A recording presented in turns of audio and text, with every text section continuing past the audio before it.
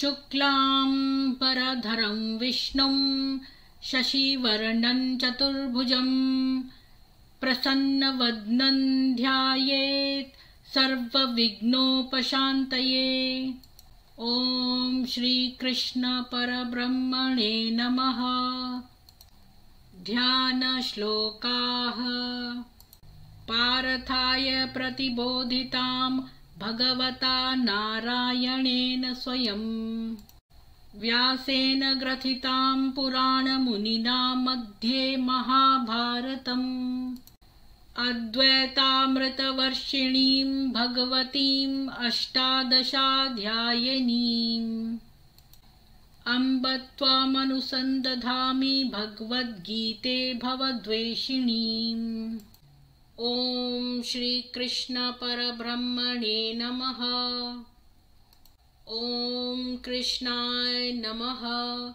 ॐ कृष्णाय नमः। ॐ कृष्णाय नमः। ॐ कृष्णाय नमः। ॐ कृष्णाय नमः।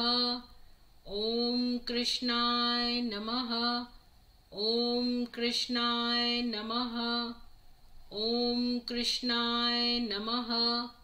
ॐ कृष्णाय नमः। ॐ कृष्णाय नमः। ॐ कृष्णाय नमः।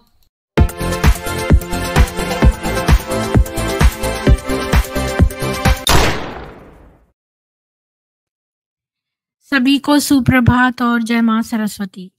एक्चुअली में मैं आज इनवाइटेड थी कहीं पर उसमें इंटरव्यू के लिए किसी चैनल पे तो मैं मैं एक घंटे का इंटरव्यू वहाँ पर देकर आई हूँ। और इसीलिए मैं देर से स्टार्ट किया मैं पे सोच में पड़ गई कि आज मैं करूँ कि नहीं।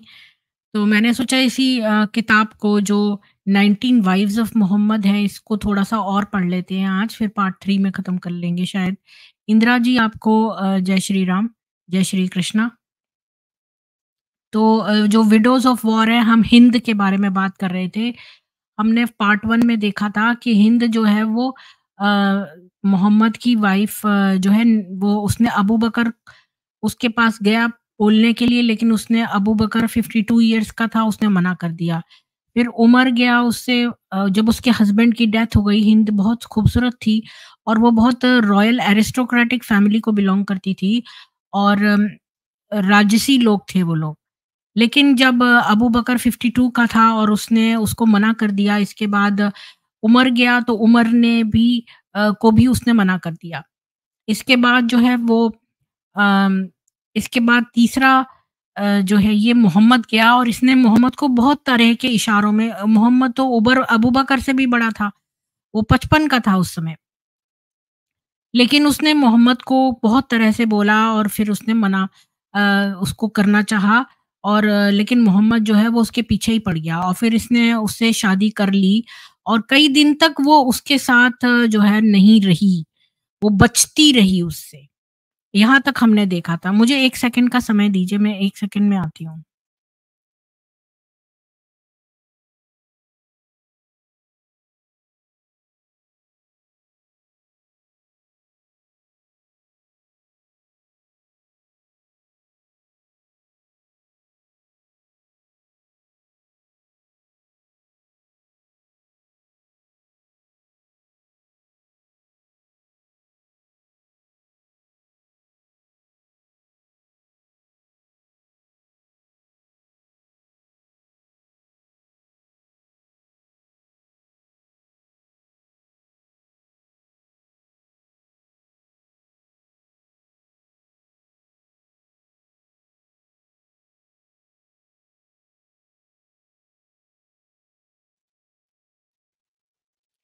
सॉरी मुझे काम पड़ गया था तो हाँ, तो कंटिन्यू करते हैं। तो ये जो हिंद थी ये बड़ी खूबसूरत थी और ये एरिस्टोक्रेटिक फैमिली को बिलोंग करती थी।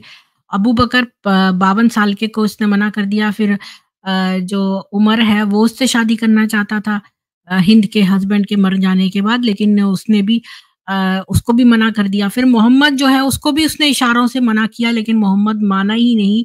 अब उससे शादी हो गई जब, तब वो कई दिन तक बचती रही। लेकिन फिर बाद में जो है उसका कोई साथ में था, उसने उसको डांट लगाई, उसके भाई उसके कज़न ने। यहाँ तक हमने देखा था। अब हम जो है आज शुरू करेंगे अ, हिंद और मोहम्मद 626 से लेकर 632 तक। तो ये किताब जो है इंग्लिश में है और ये तारा मैकार्थर जी ने मुझे दी है और किताब को दिखा-दिखा के मैं नहीं पढ़ूँगी अब जो है क्योंकि उन्होंने अभी ये किताब मार्केट में नहीं लाई है और उन्होंने मुझे अपनी कॉपी दी है, तो मैं जो है इसको वैसे ही सुना दूँगी। अगर कोई एंसेस्ट्री का चार्ट होगा वो आपको ज़रूर दिखा दूँगी। तो जब हिंद ने से मोहम्मद ने शादी कर ली, तो उससे पूछा गया कि आप आपके दिल में आयशा की क्या जगह है? तो वो चुप रहा, क्योंकि आयशा की जगह तो चैलेंज हो गई। और आयशा ऐसा विश्वास करती थी कि हिंद जो है वो उसकी थर्ड फेवरेट वाइफ है। मोहम्मद का जो है अ, ये जो हिंद थी इसने बहुत तरह से कहा था कि भई मैं तो मोनोगैमस हूँ मोनोगेमस हूँ। तो अ, अब ये जो है इसको बहुत अच्छी लॉयल्टी मिलने लगी हिंद को और हिंद जो है उसकी तरफ़ बड़ी लॉयल हो गई। और हालाँकि वो उससे कोई प्यार-व्यार नहीं करती थी, लेकिन वो अब, क्योंकि वो अपने हस्बैंड के प्रति बहुत लॉयल थी और और जन्नत में भी उसको अपना हस्बैंड नहीं मिलेगा क्योंकि उसने मोहम्मद से शादी कर लिया और देखो मोहम्मद की चलाकी की अपनी बीवियों को तो बोल दिया कि भाई वो दोबारा शादी नहीं करेंगी ताकि वो, जो है अपने हस्बैंड को, जो मोहम्मद है उसको भी पैराडाइस में पाए लेकिन इससे ये फ़ौरन तैयार हो गया शादी करने को। जबकि ये, जो है मोनोगैमस रह के अपने पति की ही बीवी बनना चाहती थी जन्नत। तो इसने कह दिया कि मैं बोल दूँगा, जन्नत में ऐसा कर दूँगा, ये हमने पिछली बार देखा था। अब जो उस एम्परर था एबिसिनिया का, जिसने कि इन लोगों को बड़े प्रोटेक्शन दिया था, वो 630 के लेट में वो मर गया। अब जो नया एम्परर है और उसने जो है मोहम्मद ने कुछ ज्वेलरी और मस्क भिजवाया था, उस एम्परर को, नए एम्परर को वो उसने वापस कर दिया। अब ये वापस करने से ये पता चला कि अब ये जो नया एम्परर आया है ये कोई मुसलमानों की मदद नहीं करेगा और बल्कि ये जो अपने आप को बड़े हेल्पलेस रेफ्यूजी दिखा रहे थे एबिसिनिया में, बल्कि वो उसको डेंजरस पॉलिटिकल फोर्स समझेगा। अब मोहम्मद ने एक-एक वो किया क्या चीज़ है वो मस्क का यानी कोई खुशबू होती होगी या पता नहीं क्या है, अवोकिया मस्क का वो अपनी हर बीवी को दिया और अम और हिंद को न केवल वो मस्क दिया बल्कि जेवरात भी दे दिए। कि हिंद जो थी वो लॉफुल पोजेसर थी, परफ्यूम है, मस्क मतलब परफ्यूम है। तो क्योंकि वो एबिसिनिया में रहती थी, पुराने एम्परर के प्रोटेक्शन के अंडर में। आपको याद होगा कि एबिसिनिया में ये लोग रहते थे, हिंद और उसका हस्बैंड। तो इसलिए हिंद के पास न केवल परफ्यूम गया बल्कि जो जेवरात भी गए। जबकि सौदा जो कि वो भी एबिसिनिया में थी हिंद के साथ, लेकिन उसको उतना ही मिला जितना आयशा, हफ्सा को और औरों को मिला। क्योंकि अ, कुछ एक कुछ रीज़न था जिस वज़ह से हिंद को एक स्पेशल रिटर्न गिफ्ट ज़्यादा मिला। जब कोई स्पेशल गिफ्ट नहीं आता था मॉस्क मतलब मस्जिद के अंदर, तो हिंद को उसी स्टाइल में रहना पड़ता था जैसे कि मोहम्मद की और बीवियाँ। हालाँकि हिंद बहुत अमीर घर की थी। अब मोहम्मद ने वहाँ से एक वार्निंग इशू की अपने मस्जिद से कि जो भी विमेन है वो इस धरती पर गोल्ड पहनेंगी उनको आखिरात में बहुत ज़्यादा पनिशमेंट मिलेगी और उनको जो है का, जो उनको नेकलेस और इयर दोनों आग के पहनने पड़ेंगे, जहन्नुम में। तो जो हिंद है वो उसक, उससे इसके बारे में पूछती थी तो उसने कहा कि भाई तो फिर आपने तो मुझे ये ज्वेलरी दी है तो वो कहता था, नहीं, इस उसको अगर तुम ठीक टैक्स उस पर दे दो तो तुमको कोई पनिशमेंट नहीं है। और हिंद जो है वो अपना गोल्ड पहनती रही। जब उससे पूछा गया कि वो और ज़्यादा गोल्ड और परफ्यूम रखेगी अपने कलेक्शन में, तो मोहम्मद ने उसको कहा कि तुम खाली चांदी और केसर ही रखो। अब आयशा जो है उसको इस तरह की कभी कोई प्रॉब्लम के बारे में चिंता करनी नहीं पड़ी क्योंकि उसके पास गोल्ड था ही नहीं हिंद ने बहुत एडजस्टमेंट किया जब वो अपनी टेंट में बैठी हुई थी एक आर्मी हॉल्ट पे तो एक बेदुइन जो था वो मोहम्मद के पास गया और उसने कहा कि अपना पुराना प्रॉमिस जो है वो पूरा करो। तो उसने कहा बेस्ट विशेस मोहम्मद ने। तो उस आदमी ने कहा कि भाई तुम तो हमेशा मुझे गुड विशेस देते हो और मतलब मतलब वो तो देते नहीं हो। कोई पैसा वैसा होगा या पता नहीं क्या और कोई एक्शन नहीं। तो मोहम्मद ने अपने दो आ, दो नौकरों को कहा कि आ, इस बेदुइन ने मेरे वे बेस्ट विशेस को जो है रिटर्न कर दिया है तो तुम दोनों जो है, वो मेरे बेस्ट विशेष ले लो। तो उन नौकरों ने मान लिया। फिर मोहम्मद ने एक पानी का कटोरा मंगाया और उसमें अपने हाथ धोए और अपना मुँह भी धोया और फिर एक मुँह में कुल्ला भरा और उसको उसी में बोल में कुल्ला कर दिया। फिर उसने उन नौकरों से कहा कि तुम अब इसको पी जाओ और अपने मुँह के ऊपर जो है, डालो और अपनी छाती पर भी और तुम अपने, बड़े खुश हो जाओ इन बेस्ट विशेष से। देखा आपने? इतना गंदा था ये आदमी। इसने उसको कटोरा मंगा के उसी में कुल्ला करके थूक दिया और फिर उन नौकरों को देके कहता है कि तुम अब इनको पी जाओ और अपने छातियों पे उड़ेल लो और मेरे बेस्ट विशेष जो इस बदून ने नहीं एक्सेप्ट करें, ये तुम लोग कर लो। फिर वो जो है हिंद जो थी वो बड़ी आ, फिर अब ये हिंद तो अंदर बैठी हुई थी टेंट के इसने आ, जो है चिल्ला के बोला कि तुम अपनी कुछ माँ के लिए भी आ, सेव कर लो। तो वो आ, वो लोग उस पानी को लेके चले गए अपनी माँ के लिए। तो उसने आ, वो भी बड़ी खुश थी कि भी मोहम्मद की विशेष मिल गई है तो उसने कोई भी गिफ्ट और नहीं मांगा।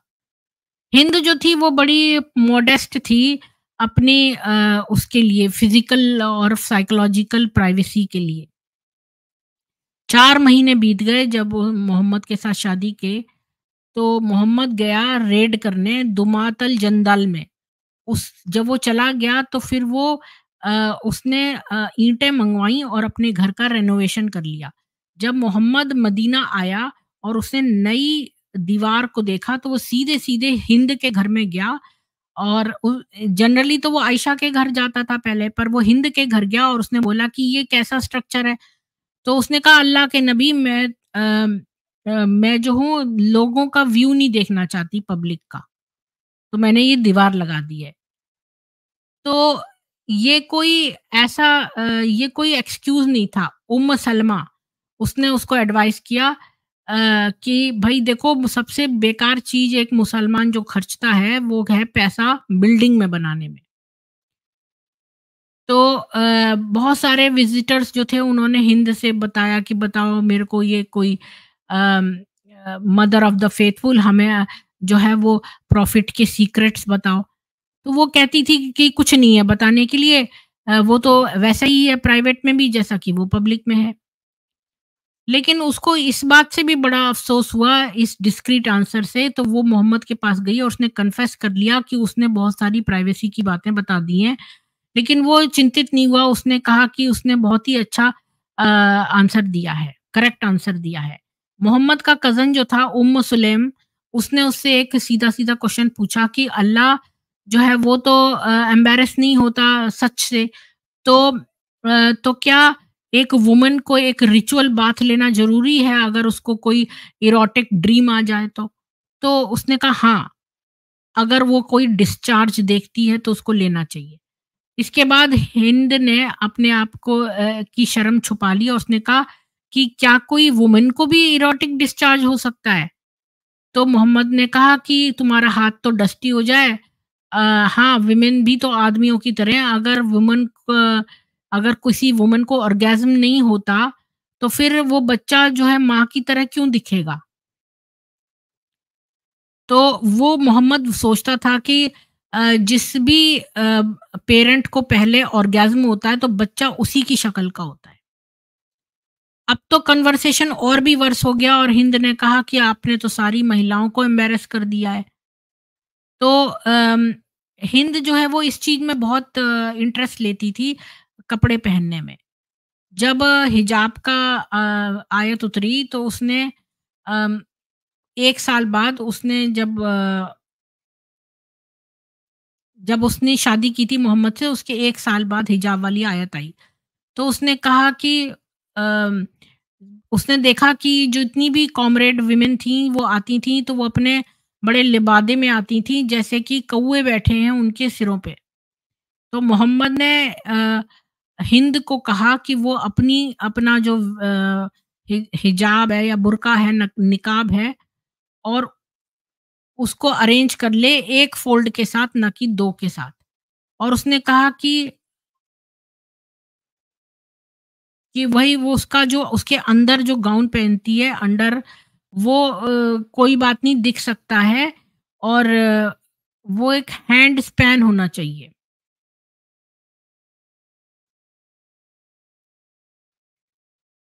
तो उसने कहा जो जो गाउन के जो उसके नीचे जो पहनते हैं ना गाउन वो वो मतलब हाथ का बना हुआ, तो इसने हिंद ने जो है वो कहा कि भाई कि अगर वो इतना लंबा ना हो कि उसके पैर तक हो, तो उसने कहा कि वो फ़ोर आर्म की लेंथ तक हो पर उससे ज उससे ज़्यादा नहीं। फिर हिंद के चार बच्चों के अलावा बहुत सारे डोमेस्टिक सर्वेंट्स भी लाई थी। उसके पास एक अननेम्ड स्लेव गर्ल थी जिसका नाम ही नहीं था। एक मेल स्लेव था जिसका नाम आफ़ला था। और वो बहुत वो था गंदगी के मामले में बहुत फ़ास्टिडियस था। एक और था जिसका नाम शिप था, जो कि आधा पर्शियन था और एक हिजड़ा था जिसका नाम हिट था और एक स्वतंत्र आदमी था जिसका नाम नईम था और एक स्वतंत्र औरत थी जिसका नाम मुहाजिर था। ये सारे उसके नौकर हैं। मोहम्मद ने सोचा कि जो है, ये जो हिंद के नौकर-चाकर आए हैं, ये इनको, इनसे अपना भी काम लिया जाए। उन्होंने भी कहा कि ये तो उनका ऑनर है कि वो जो है प्रॉफ़िट को सर्व करें और उन्होंने बड़ी खुशी-खुशी किया। मुहाजिर ने कहा कि मैंने तो जो मुहाजिर जो थी वो वुम महिला थी, जो फ्री महिला थी, उसने कहा कि मैंने मैंने जो है मोहम्मद की सेवा 10 साल तक करी और उसने कभी मेरे से नहीं पूछा कि मैंने क्या किया और क्या नहीं किया। शिप जो था वो एक बहुत बड़ा और बहुत तगड़ा आदमी था और मोहम्मद ने उस उसके साथ बहुत सारी अजीब-अजीब डिमांड पेश की। एक बार वो एक जर्नी पर गए, तो कुछ पैदल चलने वालों ने कहा कि उनका बैग जो है बहुत हैवी है, कि वो जो है रेगिस्तान से कैसे ले जाएँगे तो मोहम्मद ने इस नौकर ये जो स्लेव था, ये जो शिप था शिप कौन था? एक मिनट, शिप जो था वो स्लेव था, आधा पर्शियन था वो। तो उससे कहा कि वो अपना कपड़ा जो जो ऊपर कोट सा पहने वो स्प्रेड कर दे, फिर सबके बिलोंगिंग्स जो थे वो उसके अंदर सबकी पोटलियाँ डाल दी और इसके बाद मोहम्मद ने कहा कि शिप से कि तुम इसको उठा के चलो और इसी से इसका नाम शिप पड़ गया। मतलब इस गुलाम का नाम शिप पड़ा यानी कि तपती हुई धूप में सबके बंडल उठा-उठा के इसके इस आदमी को दे दिए शिप और इसका नाम भी शिप रख दिया। ये देखो न केवल ये लोग गुलाम रखते थे बल्कि गुलामों के नाम भी रखते थे। उससे सारा बोझा उठवा रहे हैं और उसका नाम बंदे का रख दिया शिप। कितनी मतलब क्रूरता है ये, कि सारे आदमियों का बोझा ये उठाएगा, एक बंदा और उसका नाम भी ये लोग उस शिप रख देंगे। और वो वो बोलता था कि कि भई मैं वो भी अपने आप की जो है शेखी बगाड़ता था कि अगर मैं 1, 2, 3, 4, 5, 6 या सात गधे भी उठा लूँ, तब भी वो मेरे लिए इतने हेवी नहीं होंगे। लेकिन जब हिंद ने जो है वो शिप को फ्री कर दिया कि इस कंडीशन पे कि वो मोहम्मद को जब तक वो जीवित रहेगा सर्व करेगा तो तो फिर शिप ने कहा हाँ, हाँ कि वो ज़रूर करेगा। फिर मोहम्मद ने जो है एक बार हिंद की स्लेव लड़की को बुलाया और वो धीरे-धीरे आ रही थी। ये देख के मोहम्मद जो है वो चिढ़ गया। उसने अ, मतलब उसको गुस्सा आ गया अ, और हिंद ने जो है जो पर्दा लगा था उसके पीछे से देखा कि वो लड़की जो है एक जानवर के साथ खेल रही थी मतलब वो स्लेव लड़की थी वो छोटी लड़की थी तो हिंद ने उसको लेकर आई और एक्सक्यूज के साथ कि भाई देखो हिंद ने अ, उस लड़की का पक्ष लेके क्या भाई बेचारी ने आपकी बात सुनी नहीं? क्योंकि मोहम्मद जो है वो अ, एकदम से गुस्सा हो गया क्योंकि वो उस लड़की ने आने में देर करी क्योंकि वो एक जानवर के साथ खेल रही थी। तो मोहम्मद ने धमकी दी और फिर उसने कहा कि अम, वो जो टूथब्रश जो था उसका मिसवाक, उससे उस लड़की को डराया कि मैं तुझे इससे पीटूँगा। और ये ऐसे ही उसने कह दिया क्योंकि वैसे तो कोई भी चीज़ रोकती नहीं थी मोहम्मद, उसको सचमुच में बहुत पीट सकता था। और लड़की का भी पता नहीं कि वो घबराई कि नहीं, घबराई कि, लेकिन इसकी सुनने वाली हिंद थी। और उसने सोचा कि ये तो मोहम्मद का बड़ा सेंस ऑफ़ ह्यूमर है। लेकिन ये कोई मज़ाक नहीं था। एक दिन जब मोहम्मद जो है हिंद के घर में गया तो उसने देखा कि वहाँ पर एक छोटी लड़की जो है वो रो रही है। तो उसने देखा कि उसके मुँह पर काले काले निशान हैं। तो उसने हिंद को पूछा तो उसने कहा कि ये तो ईवल आई की वजह से हुए हैं। तो अ, उन्होंने ये फैसला किया कि वो इस लड़की को क्योर कर देंगे कि कुछ जैसे कोई इंकेंटेशन है अ, कुछ पढ़ के कुछ अपनी ये लोग पढ़ते हैं ना क्या बोलेंगे मैं उसको अपने मंत्र वर्ड नहीं बोलना चाहती अपनी ये जो भी कलमा फलमा पढ़ते हैं उससे। और अब जो है हालाँकि हिंद जो है वो सोचती थी मोहम्मद तो बड़ा मज़ाक किया है, ये है, वो है, जो भी। लेकिन उसके मोनोगैमस जो इंस्टिंक्ट्स थे वो तो खराब हो गए। और मोहम्मद उसको कभी भी फ़ोकस्ड अटेंशन नहीं देता था जो कि एक आदमी उसको देता है जिसकी एक ही बीवी होती है, क्योंकि हिंद हमेशा से एक बीवी होना चाहती थी। जब फेयरवेल पिलग्रिमेज हुआ मार्च 632 में तो हिंद बीमार पड़ गई। और वो बहुत ज़्यादा बीमार हो गई कि वो काबा का चक्कर नहीं लगा सकती थी और यात्रियों के साथ। तो मोहम्मद ने ये भी नहीं देखा कि वो बीमार है। उसके पास तो बहुत सारे थाउज़ेंड्स में पिलग्रिम्स थे और 10 और बीवियाँ थीं, जो कि उसका अटेंशन चाहती थीं। और कोई किसी ने हिंद बिचारी पर ध्यान नहीं दिया उसकी अपनी टीनेज डॉटर ज़ैनब के अलावा। मोहम्मद ने फिर फाइनली रियलाइज़ किया कि हिंद तो बीमार है। जब वो आखिरी रात मक्का की बिता रहा था, तो जब उसका बारी आई हिंद की, तब उसने ये रियलाइज़ किया अरे हिंद तो बीमार है। तो जैसे कि उसको उसकी सेक्सुअल नीड की ज़रूरत पड़ी तब जाके उसको ख़्याल आया कि हिंद तो बीमार है। तो हिंद की इलनेस इतनी सीरियस नहीं थी कि भाई वो अपने हस्बैंड को अ, वो कर दे, एहसान से हटा दे मतलब और चूँकि वो इतनी बीमार थी तो वो काबा के चक्कर भी नहीं लगा सकती थी। इसलिए वो रिचुअली भी अनअवेलेबल थी। मतलब अगर वो ठीक भी होती, तब भी उसके साथ नहीं किया जा सकता था, क्योंकि वो, उसने काबा का चक्कर ही नहीं लगा था। और अगर वो वेट करते मक्का में कि जब तक वो ठीक ना हो जाए तो फिर वो ये नहीं देख सकते थे कि कितना वो डिले हो जाते। तो इन ये लोग हिंद को तो लेके गए ही थे वहाँ पर तो उन्होंने सोचा कि पिलग्रिमेज को जल्दी ख़त्म करें तो मोहम्मद ने उसको मीना के पास भेज दिया रात को। और फिर वो सोचने लगा कि ये रात में अब किस बीवी के साथ बिताऊँ। और हिंद ने सुबह-सुबह ये लोग शैतान को पत्थर मारते हैं, तो ये उसने ये रिचुअल करा। और उसको जो है ये कर करने दिया एक ऊँट के ऊपर बैठ के, कि काबा के सर्कल तुम ऊँट के ऊपर बैठ के कर लो। इसके बाद फैमिली जो है, उसने पूरी मक्का जो है, जल्दी से छोड़ दिया। अब अगला टॉपिक करते हैं हिंद और उसकी जो दूसरी बीवियाँ थी मोहम्मद की 626 से लेकर 632 तक। जब हिंद ने जो है घर ज्वाइन किया तो आयशा जो थी 12 साल की थी और वो बहुत जेलस हो गई। हालाँकि वो मुँह से सही-सही बातें बोलती थी, लेकिन अंदर से वो बहुत ज़्यादा मिज़रेबल फ़ील करती थी, जब भी लोग हिंद की सुंदरता की तारीफ़ करते थे। उसको पहले ही पता था कि हिंद कैसी दिखती है। इमिग्रेंट कम्युनिटी इतनी छोटी थी कि हर कोई हर किसी को जानता था और हिंद तो आयशा के घर के अंदर भी थी। तो आयशा इतनी डिस्टर्ब हो गई हिंद के फेस से इतनी ज़्यादा नहीं जितनी कि आदमी जो हिंद के बारे में बात कर रहे थे।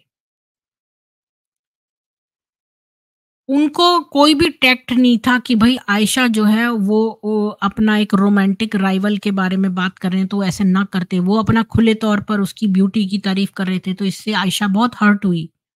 आयशा ने जब पहली बार हिंद को देखा शादी के बाद तो उसने उसको ऐसे बहुत पोलाइटली बात करी फिर वो दौड़ के गई हफ्सा के पास और खूब रोई कि अ, हिंद जो है वो तो बहुत ज़्यादा सुंदर है जितना उसने एक्सपेक्ट किया था उससे ज़्यादा। हफ्सा ने बोला नहीं, नहीं तुम तो खाली जेलस हो वो इतनी ब्यूटीफुल भी नहीं है। हफ्सा ने सारी बातें सही बोली जब तक कि उसने नई को वाइफ को नहीं देखा। वो अपनी ज़्यादा मॉडरेट इम्प्रेशन रखती थी। वो उसने आयशा को बोला मैंने हिंद को देख लिया है, इतनी स्टनिंग भी नहीं है जैसा कि लोग कहते हैं। हाँ, वो सुंदर है पर इतनी भी स्टनिंग नहीं है। तो आयशा जो है थोड़ी ठंडी हो गई। फिर अगली बार उसने हिंद को देखा तो उसने अ, सोचा कि भाई हफ्सा ने सही किया है लेकिन मैं जेलस हो गई थी। सौदा ने क्या कहा ये रिकॉर्ड नहीं किया गया है। पहले मोहम्मद ने आयशा को कुछ रीज़न दिया जलेसी का। एक शाम को वो देर से आया आयशा के कमरे में और उसने ये कहा कि वो हिंद के साथ था। तो आयशा ने कहा कि तुम, तुम्हारे को क्या उम्म सलमा, यानी कि हिंद को उम्म सलमा बोलते थे ना, क्योंकि उसका बेटे का नाम सलमा था। तो उसने कहा कि तुम्हारे को क्या इनफ नहीं मिला उम्म सलमा के साथ? तो नबी ने कहा, अगर तुम, तुम्हें किसी दो पहाड़ियों दो स्लोप्स में से कोई चुनना हो जिसमें से एक जो है जिसका लोगों ने खा लिया है, चर लिया है और दूसरा बिना चरा है तो तुम कितनी गंदी बात ये कही है। छी, छी, छी, छी! बहुत ही गंदी बात कही है। आपको पता है मैं क्या कह रही हूँ ये बात? एक मिनट, ये बहुत ही गंदी बात है ये। मतलब कि कि ये जो मोहम्मद है ये देर से गया आयशा के पास, तो आयशा ने कहा कि तुम्हें क्या इनफ नहीं मिल गया अभी तक अ, मतलब हिंद के पास?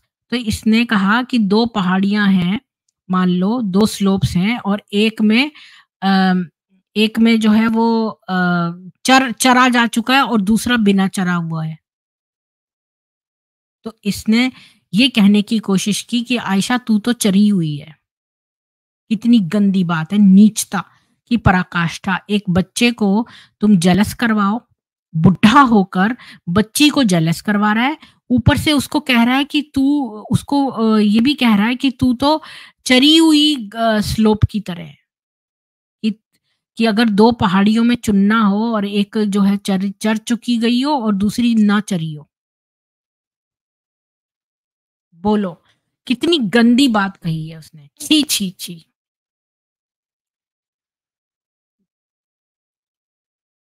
तो आयशा बोली कि मैं तुम्हारी और बीवियों की तरह नहीं हूँ। उन सबके तो और भी हस्बैंड हैं। तो नबी बस स्माइल किया और उसने कुछ नहीं कहा। आयशा और हफ्सा इनकी रैंक जो है हिंद के साथ थी और सौदा जो है इनके साथ-साथ रहती थी। जब हिंद ने एक अपने चारों तरफ़ एक सफ़ेद शीट जो है अपने अपनी वेस्ट पे बांधना शुरू कर दिया, तो आयशा ने देखा कि उसके दोनों एंड जो है वो उसके ज़मीन पर घिसटते आते हैं। तो वो हँसी हफ्सा के साथ और उसने हिंद को उसने कहा कि हिंद ऐसी लगती है जैसे कि वो कुत्ते की जीभ जो है वो लपकती हुई आ रही है उसके पीछे। हिंद ने कोई कंप्लेन नहीं करी जब उसने देखा कि हफ्सा और आयशा दोनों ही उसके साथ नहीं वो करती हैं, लाइक करती हैं उसको। और उसने जो है बॉन्डिंग शुरू कर दी मोहम्मद की बेटी फ़ातिमा से। अब शिया कहते हैं कि जब अली की माँ मर गई तो मोहम्मद ने हिंद को जो है वो फ़ातिमा का गार्जियन अपॉइंट कर दिया, ताकि वो उसके लीगल अफ़ेयर्स को और उसको एटिकेट सिखाए। उम सलमा कहती है यानी हिंद कहती है कि जब नबी ने मेरे से शादी करी तो उन्होंने मेरे को ज़िम्मेवारी दे दी अपनी बेटी की केयर करने की। तो मैं उसको पालने-पोसने में लग गई और मैं भगवान की मतलब अल्लाह की कसम खा के कहती हूँ कि उसका कंडक्ट मेरे से भी अच्छा है और वो सारी चीज़ों में ज़्यादा नॉलेज मुझसे भी ज़्यादा वो करती है, दिखाती है। अब ये डाउटफुल है। फ़ातिमा जो है वो एक एडल्ट थी, एक मैरिड वुमन थी और वो मदर थी दो बच्चों की। उसको किसी टीचर की या फॉर्मल गार्जियनशिप की ज़रूरत नहीं थी, जो कि एक वुमन उसको प्रोवाइड करे। ये ऐसा लगता है कि ये कोई जैसे किसी ने कहानी गढ़ दी हो कहानीकारकों ने, जिन्होंने इस कहानी को चेक भी नहीं किया। हालाँकि हिंद और फ़ातिमा जो है वो अच्छे दोस्त बन गए। जब उमर का जो अपनी बेटी हफ्सा का बिहेवियर कर्ब कर करा उसने, तो वो हिंद के पास गया अ, कि वो जो है हफ्सा को मना करे, चुपचाप वार्न करे। तो हिंद ने कहा कि उमर इब्न अल-खत्ताब मैं तो तुमसे बहुत ही चकित हूँ, तुम हमेशा हर चीज़ में अपनी नाक घुसाते हो, अब तुम जो है नबी और उनकी बीवियों के बीच में भी नाक घुसा रहे हो। तो उमर ने इंसिस्ट किया कि हफ्जा जो है वो अ, मुश्किल में आ जाएगी, पर हिंद जो उसको कहने लगी कि वो उसका कोई बिज़नेस नहीं है और वो अपना गुस्सा थाम ले। अ, फिर अब उमर जो है इसकी बात सुन के वो बेचैन ही रहा और वो उसे आर्ग्यू करता ही रहा और फिर अ, उसका घर छोड़ के चला गया। अब ये नहीं पता कि हिंद ने क्यों ऑब्जेक्ट किया और या फिर उसने सोचा होगा कि भाई हफ्सा उसके कहने से तो कुछ मानेगी नहीं। दो साल लगे जिससे जिसके बाद आयशा और हफ्सा ने जो है हिंद से बातचीत शुरू करी। वो तब हुआ जब उन्होंने जो है चाहा कि हम और प्रोविज़न्स प्रोवाइड करें, जबकि मोहम्मद कहता था उसके पास कुछ भी नहीं है। अबू बकर और उमर ने सारी मोहम्मद की बीवियों के पास गए और उनको वार्न किया कि वो अपने अ, और पैसे ना मांगे सौदा और दूसरी थे उन्होंने तो चुपचाप ले लिया, लेकिन हिंद जो है वो खड़ी हुई इनके लिए। तो वो कहती है कि ये तुम्हारा बिज़नेस कैसे है? हम तो तुम्हारे और तुम्हारी बीवियों के बीच में नहीं आते, ये तो नबी और उसकी बीवियों का मामला है। मतलब उसने उमर को अपोज़ किया कि भाई तुम कौन होते हो ये कहने वाले कि अ, कि हम ना पैसे मांगे अपने हस्बैंड से। अ, ये तो अ, तुम लोगों के लिए बड़ा अच्छा है कि तुम आयशा और हफ्सा को कह दो कि अ, कि भई वो क्या चाहती हैं, पर दूसरे से तुम क्यों पूछ रहे हो कि हम अपने हस्बैंड से ना बोलें?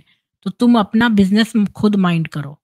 उसने अबू बकर और उमर को बोल दिया। अबू बकर और उमर इतने ठीक से साइलेंस हो गए कि आयशा और हफ्सा जो हैं वो सोचने धन्यवाद करने लगी हिंद का।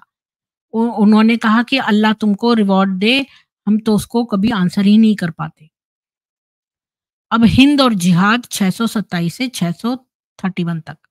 जब मोहम्मद रेड मारने गया तो उसकी बीवियों ने जो है लॉट निकालते थे कि कौन उसके साथ ये मतलब जैसे लॉटरी डालते हैं ना सिक्का उछालते हैं कि कौन बीवी उसके साथ जाएगी।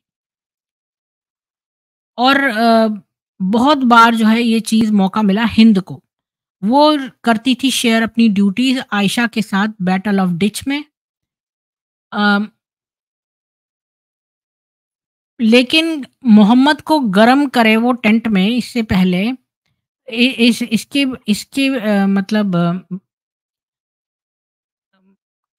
करने के अल अलावा या नहीं, बावजूद हिंद ने जो है वो रक्षा करी, डिच की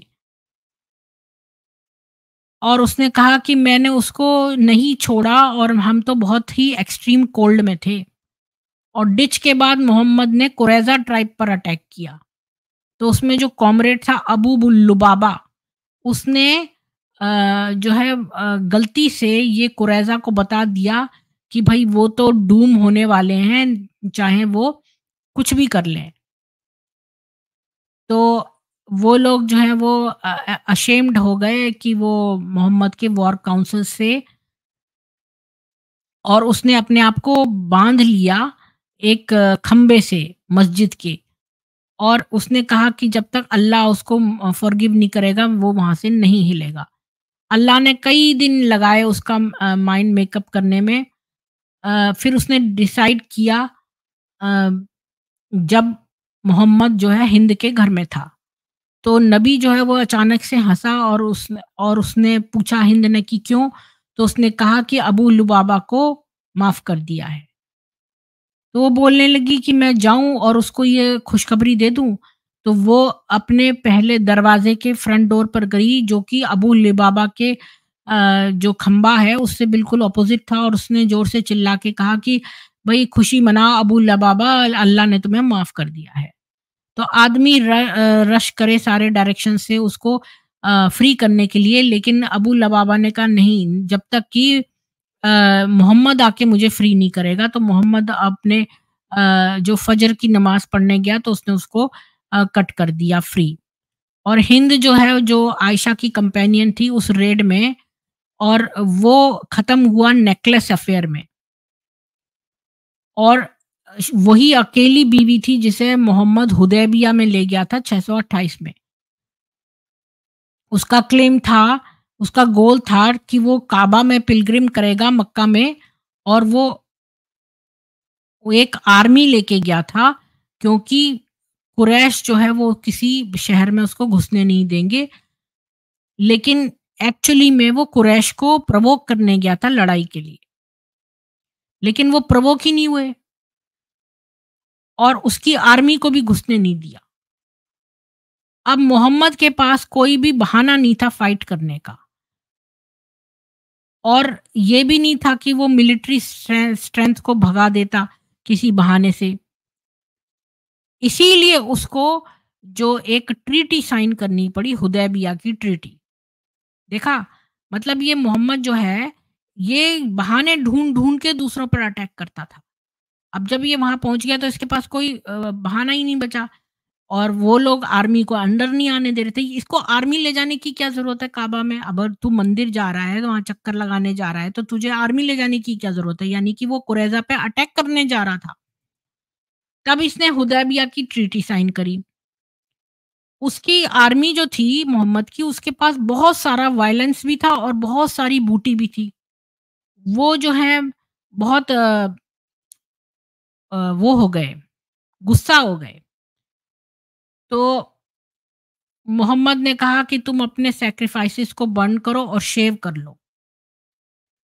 क्योंकि ये एक रिचुअल था जो कि पूरा पिलग्रिमेज खत्म होने के बाद किया जाता है। तो उन्होंने कहा कि ये पिलग्रिम एंड होना चाहिए काबा से बहुत दूर पहुँचने पर ही। तो उन आदमियों को इतना ह्यूमिलेशन हुआ तो उन्होंने मोहम्मद की बात को नहीं माना, चाहे उस मोहम्मद ने कई बार उनसे कहा। फिर वो मोहम्मद अपने टेंट में आया बहुत ज़्यादा गुस्से में कि इन आदमियों ने उसका कहना नहीं मांगा तो हिंद ने उससे पूछा क्या बात है? तो आप मेरे को आंसर करो। तो फिर उसने फाइनली बता दिया कि आज एक भी आदमी ने मेरे इंस्ट्रक्शन को नहीं माना और ना सेक्रीफाइस किया, ना शेव किया, जबकि उन्होंने मुझे ठीक से सुना था। तो हिंद ने उसको काम करा और उसको कहा कि आप किसी को भी फ़ोर्स मत करो कि वो आपको ओबे करें, बस एक एग्ज़ाम्पल सेट करो, उनसे दोबारा बात मत करो जब तक कि वो सेक्रीफाइस और शेव ना कर लें। तो मोहम्मद ने ऐसे ही किया। तो जब उसके सैनिकों ने देखा तो वो अपने डिसोबीडियंस से इतने अशेम्ड हुए कि उन्होंने हलाल करा फिर और एक-दूसरे को शेव करने लगे। इतना, अ, इतना शेव करने लगे कि उनको मतलब कि वो किलिंग का भी डर होने लगा। मतलब कि किसी को मार ही ना दे, इतना शेव करने लगे। यानी कि ये भी इनके यहाँ एक रिचुअल है कि ये लोग जो हैं वो सेक्रीफाइस करते हैं एनिमल को और शेव भी करते हैं। इसके बाद मुसलमानों ने एडमायर किया कि भई देखो हिंद ने कितनी प्रैक्टिकल विज़डम लगाई। और हिंद यानी उम्म सलमा को बहुत एस्टीट्यूट और वाइस समझते थे जैसा कि हुदैबिया की ये घटना हुई। ये बात तो सच है, लेकिन हिंद मोहम्मद कभी भी उसकी बहुत एडवाइस नहीं लेता था हिंद की। हालाँकि हिंद बड़ी फ़ेमस थी कि बड़ी वो अच्छी एडवाइस देती है। और ना ही कभी मोहम्मद ने अपने मुँह से कहा कि हिंद बड़ी अच्छी एडवाइस देती है या उसकी विज़डम बड़ी अच्छी है। हिंद ही अकेली बीवी थी जो खैबर भी गई और वही तीन में से एक थी जिसने मोहम्मद को मक्का का कॉन्क्वेस्ट और ताइफ की लड़ाई में अ अ, गई। जब आर्मी सरेंडर करने वाली थी अ, सरेंडर नहीं सॉरी सराउंड करने वाली थी मतलब घेरने वाली थी ताइफ में तो आपको याद होगा कि हिंद के पास एक वो होता था, एक यूनॉच मतलब एक हिजड़ा था जिसका नाम हिट था। तो उसके हिजड़े हिट ने अपने भाई से कहा और हिट जो थी मतलब वो वो हिजड़ा हिजड़ी थी या था उसने अपने भाई से कहा कि अगर अल्लाह जो है तुम्हें विजय देता है ताइफ में कल, तो मैं तुम्हें रिकमेंड करता हूँ कि तुम घेलेन की बेटी को ले आओ। क्योंकि वो इतनी मोटी है कि उसके पास चार जो है उसके फ़ोल्ड पड़ते हैं अ, मांस के उसके पेट पर और आठ जो है उसके अ, बटक्स पे पड़ते हैं। ये सुनते ही मोहम्मद के कान खड़े हो गए। क्योंकि उसने तो इस हिट जो थी ये ये एक्चुअली में वो थी मुकन्नाथ मुकन्नाथ आप जानते हो कौन होती है? तरह-तरह के हिजड़े होते हैं। एक ऐसा लड़का जो कि बहुत लड़कियों की तरह बोलता है और उन्हीं की तरह चलता है और बिल्कुल लड़कियों जैसा होता है, उसको कहते हैं मुकन्नाथ तो मुकन्नाथ थी वो ये हिट। जब इसने ये बात कही ना कि वो उसकी लड़की को तुम ले आना घेलैन की, वो बड़ी मोटी-सी है और उसकी इतनी बार बल पड़ते हैं उसके पेट पे, तो मोहम्मद के कान खड़े हो गए क्योंकि उसने सोचा कि ये इसका बड़ा ध्यान है वुमन के ऊपर। अभी तक तो वो हिट को बोलता था कि हाँ, भाई तुम जो है सब वुमेन के बीच में वो बैठी रहती थी, बातें बनाती थी। अब उसको लगा कि नहीं-नहीं ये तो बड़ा लड़कियों की तरफ़ देख रही है, तो ये कोई ये तो कोई लड़का ही हो सकती है। तो उसने कहा इसके बाद से उसने कहा कि उनको पर्दा करना है हिट से भी। ये तो औरतों को देख रही है, तो ये मतलब ये तो आदमियों जैसा है। तो हिंद ने मोहम्मद के ऊपर बहुत इन्फ्लुएंस किया था और बहुत बार जो लोग उसको मोहम्मद को ऑफेंड करते थे, तो उसमें वो इंटरफियर करती थी। उसने कभी कुछ नहीं कहा अबू लबाबा के बिहाफ़ पे पर लेकिन उसने ऐसा ही एक सीन जो है इंजीनियर किया, जो कि तीन साल बाद अ, प्ले आउट हुआ। मोहम्मद ने 3 अ, जो उसके वॉरियर्स थे, सैनिक थे, उनको एक्सकम्युनिकेट कर दिया था, मतलब बात नहीं कर रहा था, जिन्होंने की जिहाद की लड़ाई करने से मना कर दिया था। तबुक की लड़ाई में। तो ये तीन आदमियों ने जिहादी बनने से मना कर दिया था। तो उनमें से एक आदमी हिंद के पास आया और उसने प्रॉमिस किया कि वो उसकी हेल्प करेगी। जब हिंद की बारी आई मोहम्मद के साथ सोने की तो उसने उस आदमी के बारे में मोहम्मद से रिक्वेस्ट की लेकिन मोहम्मद ने कुछ नहीं कहा उस शाम को। पर सुबह तड़के जब फजर की नमाज़ होती है तो वो उठा और उसने हिंद को कहा कि काब को मैंने माफ़ कर दिया है। उस आदमी का नाम काब था, जिसने कि जिहाद की लड़ाई लड़ने से मना कर दिया था। तो उसने बोला कि क्या मैं उसको किसी को भेजूँ उसके पास उसको ये बताने के लिए कि उसको माफ़ कर दिया गया है। लेकिन उसने मोहम्मद ने कहा कि अगर वो ऐसा करेगी, तो फिर लोग जो है उसको सोने नहीं देंगे बाकी रात। तो मोहम्मद ने कहा कि मैं अनाउंस कर दूँगा कि अल्लाह ने फ़ॉरगिव कर दिया है और उसके दो दोस्तों को भी, जब फ़ज्र की नमाज़ होगी तब। तो हिंद का भाई जो अल मुजाहिर है, उसने भी जो है लड़ने से मना करा था, तबूक की लड़ाई में और मोहम्मद उससे भी बहुत नाराज़ था। तो उसने भी अपनी बहन से कहा कि मेरे जो है नबी से मेरे बारे में भी बात कर लो। तो हिंद ने जो है जब वो मोहम्मद के बाल धो रही थी, तब उसने सोचा कि अब अपने भाई के बारे में बात करेगी। तो उसने कहा कि अ, मैं कैसे खुश हो सकती हूँ जब तुम तो मेरे भाई से नाराज़ हो? उसने मोहम्मद से ये कहा। तो उसने देखा कि उसका फेस जो है वो नरम पड़ रहा है तो उसने अ, अपने सर्वेंट को इशारा कर दिया अ, और वो दोनों भी वहाँ से चले गए। तो वो नहीं सर्वेंट और नहीं वो वहाँ से चली गई और सर्वेंट को वहाँ छोड़ गई। तो सर्वेंट जो है वो अल मुजाहिर का केस प्लीड करने लगा। अब जब हिंद सर्टन हो गई कि मोहम्मद जो है वो सिंपैथी दिखाएगा, उसने अपने भाई को घर के अंदर बुला लिया। जब मोहम्मद आया तो उसको बड़ा अजीब से सरप्राइज़ हुआ अ अ जब अल मुजाहिर ने उसकी अ, कमर को पकड़ा मोहम्मद की पीछे से। तो मोहम्मद हँसा और हिंद ने कहा कि इसको फ़ेवर कर दो और अल्लाह तुमको फ़ेवर करेगा। तो मोहम्मद ने उस पे एहसान कर दिया और अल मुजाहिर को गवर्नर बना दिया यमन का। अब देखो कि हिंद की पावर इतनी थी नबी के ऊपर कि पर वो एब्सोल्यूट पावर नहीं थी। जब वो मक्का जीतने जा रहा था 630 में तो दो उसके कज़न थे, उन्होंने वो मिलना चाहते थे मोहम्मद से, तो हिंद ने कहा उनको एडमिट करने के लिए टेंट में कि अल्लाह जो है उनको लेकर आया है मुसलमान बना के बनाने के लिए, तो उनको और मिज़रेबल मत बनाओ। तो मोहम्मद ने कहा कि मेरा इन ये दोनों यूज़लेस है मेरा कोई काम नहीं है इनसे। तो उसने कहा मेरा अंकल का बेटा जो है उसने मेरी रेपुटेशन ख़राब करी है और जो मेरी मौसी का बेटा है उसने मेरे से मुँह पर जवाबदेही करी है। तो ये एक इन 10 साल पहले ये इंसल्ट हुई है, जबकि मोहम्मद वहाँ मक्का में रहता था, होता था। तो हिंद ने कहा कि कुरैश ने भी तो ऐसे ही इंसल्ट किया था और मोहम्मद ने तो बहुत ही बुरे-बुरे अपराधियों को भी माफ़ किया है। तो उसको अ लेकिन उसने कहा कि नहीं, नहीं इन्होंने मेरी इज़्ज़त पर उछाला किया है और मुझे इनकी ज़रूरत नहीं है। तो उसका जो अंकल का बेटा था उसने डिस्पेयर किया, उसने कहा कि अगर ये मुझे नहीं आने देगा अ तो मैं और मेरा छोटा बेटा जो है हाथ में हाथ डाल के रेगिस्तान में घूमते रहेंगे जब तक कि हम भूखों न मर जाए और कज़िन्स को जो है वो मोहम्मद को ट्रेल करना पड़ा all the way to Mecca. तो उसके दोस्तों के साथ मिले जब वो टेंट में बैठा हुआ था और फिर जब तक कि एम्बु जो ये हुनैन का जो ये लोग एम्बुश करते थे मतलब अपने मोहम्मद का तरीका ये था लड़ने का कि वो छुप जाता था और एम्बुश करता था अचानक से। तो हुनैन की लड़ाई एम्बुश की लड़ाई थी। तब उसमें यही लड़का जो है उसने मोहम्मद की जान बचाई और जो नबी है उसने उसको कहा कि तुम्हें अल्लाह ने फ़ॉरगिव कर दिया है।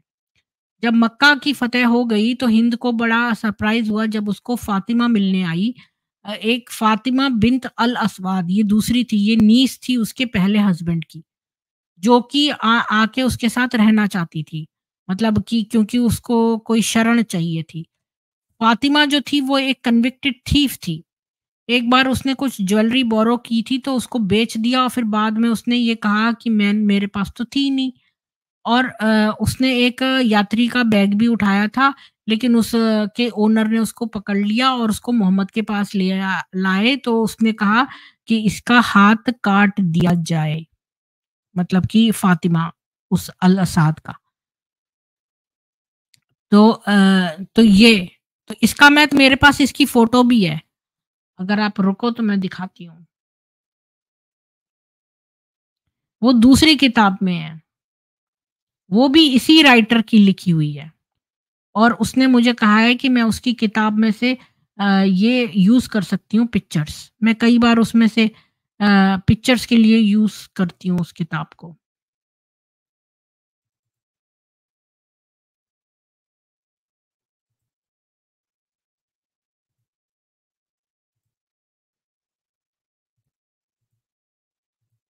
खुद तो दूसरों की चीज़ें लूट रहा है और उस फ़ातिमा का हाथ कटवा दिया इसने।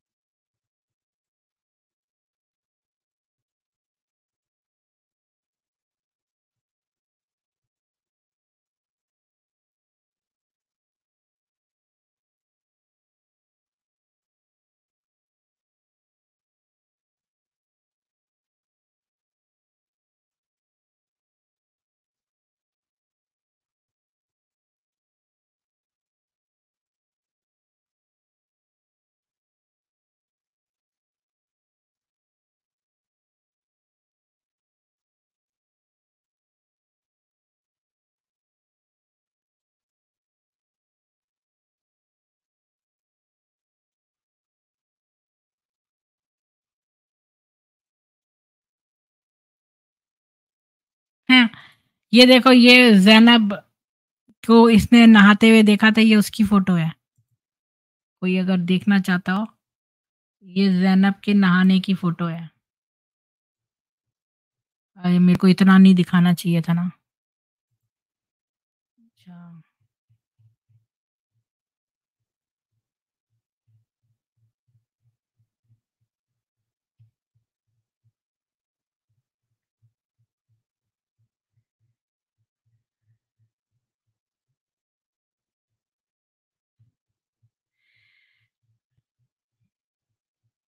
ये वो ऊँट का उसके दो पैर बाँध दिए दो ऊँट से। ये वो उम्म किरफ़ा है।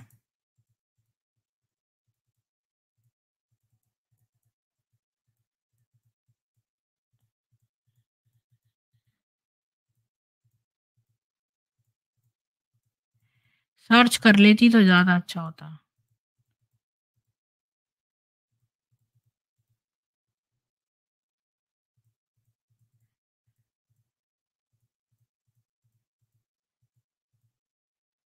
ये, ये दिखा रही थी आपको, दिख रहा है आपको? लोगों को। ये है। ये फ़ातिमा का इन्होंने हाथ काट दिया।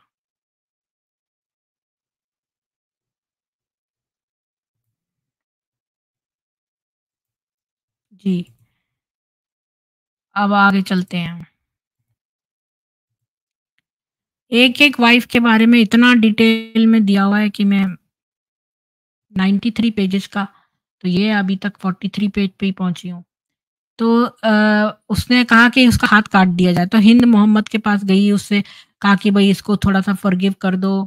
अ, तो इसके इस बार जो है उसका कोई भी बात नहीं मानी गई और मोहम्मद ने कहा अगर मेरी बेटी भी होती तो भी मैं उसका हाथ कटवा देता।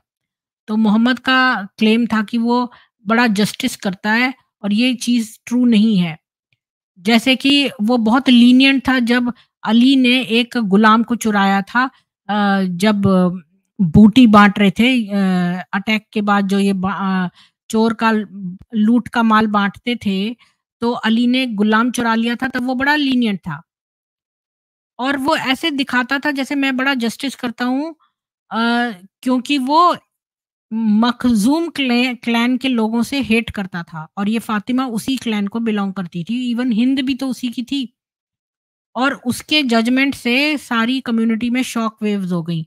बहुत सारे लोग आए फ़ातिमा के लिए इंटरसीड करने और उन्होंने मोहम्मद के जो ग्रैंडसन है उसामा, उससे कहा कि तुम जो है उसका केस प्लीड करो लेकिन अ, उसने अपने प्यारे उसामा को ऐसे ही डांट दिया कि भाई जो है नेगोशिएट नहीं होती हैं अल्लाह की पनिशमेंट।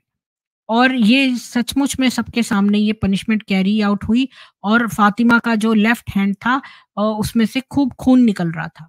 ये म्यूटिलेटेड फ़ातिमा जो थी, अब वो अपना कमाई करने में असमर्थ थी और वो इतनी एम्बेरस्ड हुई मखज़ूम जाने के लिए कि फिर वो अपने मैटरनल रिलेटिव्स के ऊपर डिपेंडेंट हो गई और अमीर लिब्न लुआए क्लैन के ऊपर। तो हालाँकि वो विज़िट करने जाती थी आयशा को जो कि विश्वास करती थी कि वो सचमुच में एक रिपेंटेंट है और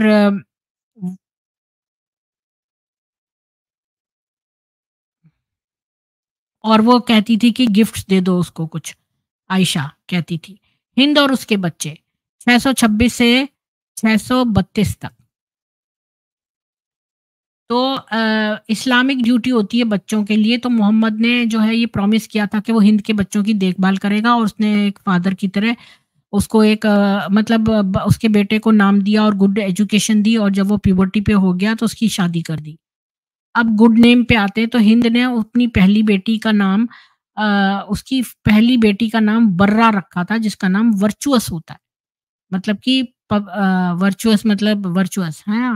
क्या बोलेंगे उसको बड़ी गुणवत्ता वाली। अपनी अपनी मदर इन लॉ के नाम पर। ये मोहम्मद की आंट थी और वो कभी भी मुसलमान नहीं बनी थी।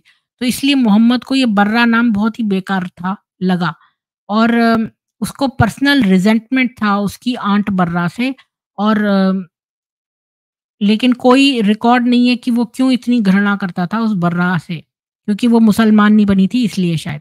तो एक दिन जब हिंद ने अपनी बेटी को बुलाया और उसने कहा कि कि तुम क्लेम मत करो कि तुम वर्चुअस हो क्योंकि अल्लाह ही जानता है कि कौन वर्चुअस है। तो उसने कहा अपनी बेटी का नाम ज़ैनब रख दो। तो उस हिंद ने कहा ठीक है इसका नाम ज़ैनब है। तो अब जो है अब्दुल्ला की जो बेटी है उसका नाम बर्रा से हिंद कर दिया। हिंद की छोटी लड़की का नाम रुकैया था, यानी कि चार्मिंग, रुकैया मतलब चार्मिंग। पर ये एक मिस्टेक है क्योंकि मोहम्मद ने दर्रा जो है दुर्रा नाम जो है वो पर्ल का मतलब होता है। उसने जो है इस नाम को चेंज करने के लिए कहा। लेकिन ये चेंज स्टिक नहीं हुआ। उसके जो चार बच्चे थे हिंद और अब्दुल्ला से उसके नाम थे ज़ैनब, सलामा, उमर और दुर्रा। दुर्रा दूसरी बेटी थी।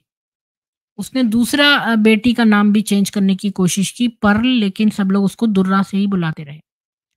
अब आते हैं गुड एजुकेशन पे। अभी तो पहले नाम दिया अब नाम पे आ गए, अब दूसरी बात एजुकेशन पे। हिंद के बच्चे जो थे वो बहुत एजुकेटेड थे और उसने उनको ये भी कलाएँ भी सिखाई थी कि कैसे टैन करो चमड़े को, बाज़ार में जाके नेगोशिएशन कैसे करो और मोहम्मद ने अरेंज किया कि सलमा और उम उमर को धनुष बाण और तलवार चलाना सिखाया जाएगा और लड़कियों को खाना बनाना और सफ़ाई करना। लेकिन मोहम्मद का मतलब गुड एजुकेशन से ये था कि एजुकेशन इस्लाम की।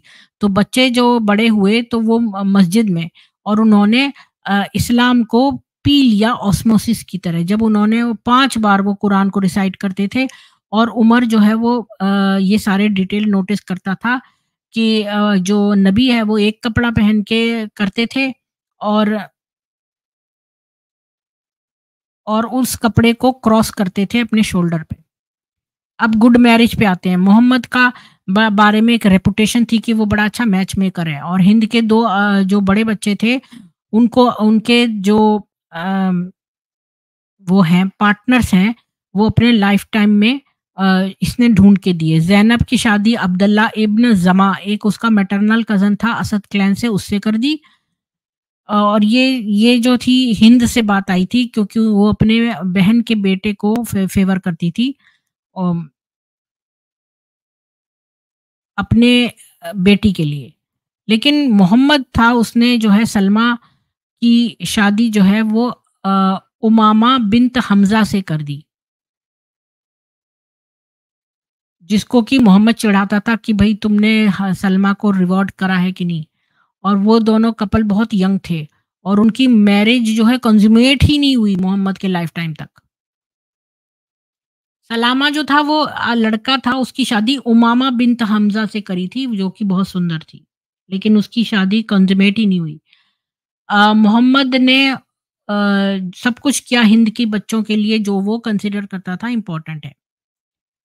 लेकिन उसने कोई भी ड्यूटी की बात नहीं की कि एक पेरेंट की क्या ड्यूटी होगी, नहीं उसने खाने की बात और साइकोलॉजिकल नीड और ये सब की कोई बात नहीं। प्रोविज़न क्या देता था एक बार हिंद को किसी ने एक मीट का पीस दे दिया। तो उसने सोचा कि मोहम्मद को मीट बड़ा पसंद है, तो उसने अपने खिड़की की खिड़की के पास रख दिया, ताकि वो जब विज़िट करने आएगा उस जिस रात उसका टर्न है, तो वो उसको दे देगी। तब बीच में एक बार एक भिकारी आ गया, तो तो इसने बोला कि अल्लाह तुमको जो है ब्लेस करे, लेकिन उसने उसको कुछ नहीं दिया और भिकारी को एम्प्टी हैंड भिजा दिया। जब मोहम्मद आया और उसने खाने के लिए पूछा तो उसने तो हिंद ने बोला कि वो मीट ले आए, लेकिन जब सर्वेंट आया तो उसने देखा कि वहाँ पर खाली एक फ्लिंट का पीस था। हालाँकि ये एक नॉन सुपरनैचुरल एक्सप्लेनेशन हो सकता है। मोहम्मद ने हिंद से कहा कि मीट जो है वो फ्लिंट में बता बदल गया क्योंकि तुमने भिखारी को नहीं दिया।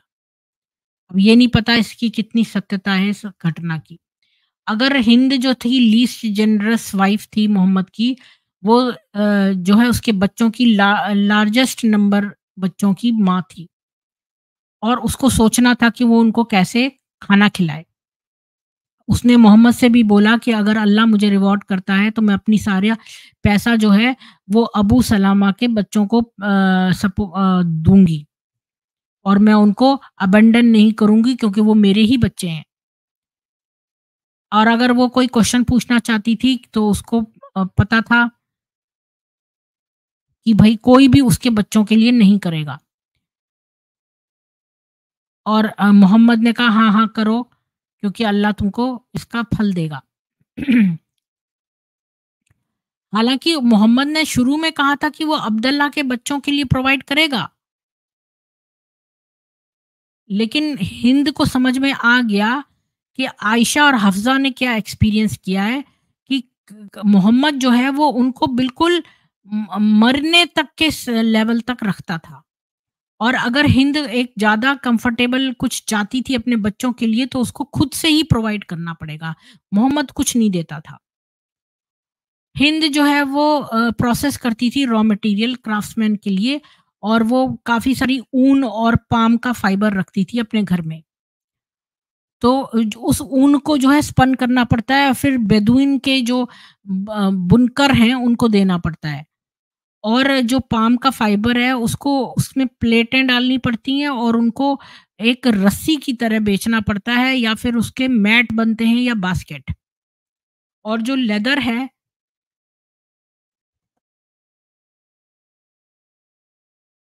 जो चमड़े को वो टैन करती थी वो भी मैन्युफैक्चरर के टेंट वगैरह, सैडल्स जो घोड़े पे बैठने के, शील्ड, बूट, बैग और पानी के जग बनाने में जाता था। और हिंद जो है वो आयशा की तरह जो है वो मिनिमलिस्ट लाइफ़स्टाइल में नहीं रहने की आदी थी। वो बहुत अमीर ख़ानदान की थी और वो अपनी कमाई खुद कर लेती थी और अपनी फैमिली को सपोर्ट करती थी, बच्चों को। लेकिन उसको कैश फ्लो के बारे में सोचना पड़ता था। एक बार उसने स्कूल टीचर से कहा कि वो कुछ लड़कों को भेज दे ताकि वो उसको ऊन को अ, करें। पर अ, उसने कहा कि जो फ्री लड़के हैं उनको मत भेजो, गुलाम लड़कों को भेजो। क्योंकि वो जो है पैसे नहीं दे सकती उनके उनसे काम कराने के। यानी ये गुलामों को कोई पैसा-वैसा नहीं देते थे, काम करवाते थे पर पैसा कोई नहीं देते थे। यहाँ से ये बात भी स्पष्ट होती है। हमें पहले ही पता है कि मोहम्मद ने जो है वो प्रिवेंट कर दिया हिंद को कि वो ब्रेस्ट फीडिंग ना करे अपने बच्चे की। क्योंकि इससे मोहम्मद को इनकन्वीनियंस होती थी। क्योंकि कोई भी रीज़न नहीं था, बल्कि मोहम्मद नहीं चाहता था कि उसको कोई इनकन्वीनियंस हो तो उसने जो है, क्योंकि आपको याद होगा कि जब इसकी शादी हुई थी हिंद की मोहम्मद के साथ तो कई दिन तक ये पर्दा डाल के रहती थी मोहम्मद और अपने बीच में, और हमेशा बच्चे को दूध पिलाती रहती थी, क्योंकि इसका बच्चा तभी पैदा हुआ था। तो मोहम्मद जो है चिढ़ गया, क्योंकि ये अवेलेबल नहीं हुई एक हफ़्ते तक। तो इसने अब कह दिया कि बच्चे को दूध पिलाना बंद कर दो। क्योंकि इससे मोहम्मद को तकलीफ़ मिलती थी ना, उसको सेक्स करना था। तो जो छोटी दुर्रा थी, छोटी बेटी, उसको उमर के घर ले गए ताकि हिंद की जो बहन है वो उसको नर्स कर सके। ये एक टेम्परेरी अरेंजमेंट था। जो अ, क्योंकि वो जो कुरैबा थी उसका तो कोई बच्चा नहीं हुआ था। आपको पता है कि जो वुमन प्रेग्नेंट होती है, जो जिसके बच्चा होता है उसी को तो दूध आता है, सबको थोड़ी आता है। तो दूसरी वुमन थोड़ी ना दूध पिला सकती है जब जबकि उसको बच्चा नहीं है कोई तो। तो कुरैबा का तो कोई बच्चा ही नहीं था तो उसको कोई दूध नहीं आ रहा था तो वो तो दूध नहीं पिला सकती थी और ये उमर जो है डांट डांट के उसको कि भाई तुम अपने बच्चे को नहीं रख सकती, पहले भी आया था ना जब इसकी शादी हुई थी तो।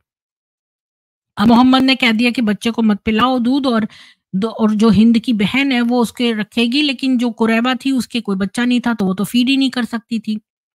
तो कोई गुलाम लौंडी जो दूध दे रही हो, जिसके दूध आ रहे हो जिसका मतलब बच्चा हो अभी प्रेग प्रेगनेंसी अभी-अभी हुई हो, डिलीवरी हुई हो मेरा मतलब, तो लैक्टेटिंग स्लेव हो या कोई किसा किसान मज़दूर टाइप की तो वो उसको वेट नर्स को हायर कर लेते थे।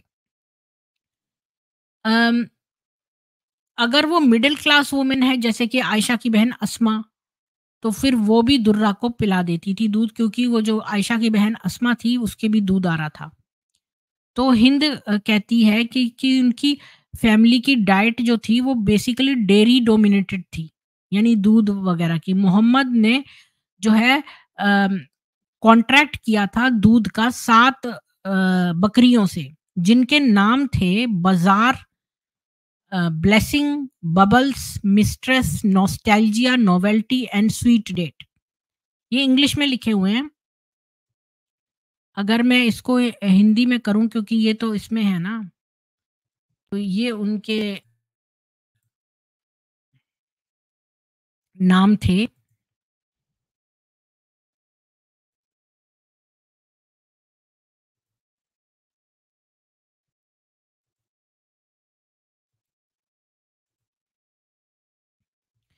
उसके पास सात बकरियाँ थी मोहम्मद के पास।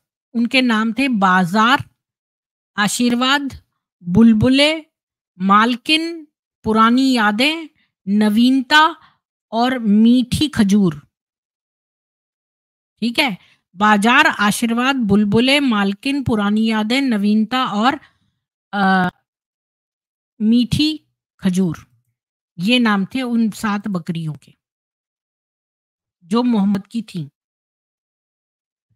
अब जो है वो उसकी जो डॉटर इन लॉ थी बराका, वो उनको, उनकी बकरियों की देखभाल करती थी।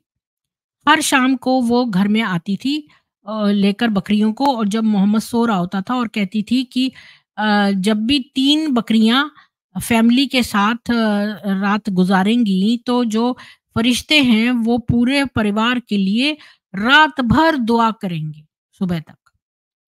तो मोहम्मद जो है वो बीस दूध देने वाले कैमल्स को भी, ऊंटनियों को भी ओन करता था, जिनके नाम थे, अब उनके नाम भी, ऊंटों के नाम भी दिए हैं।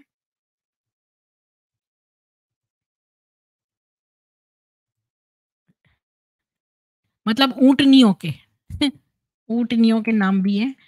हैं एक मिनट रुकिए।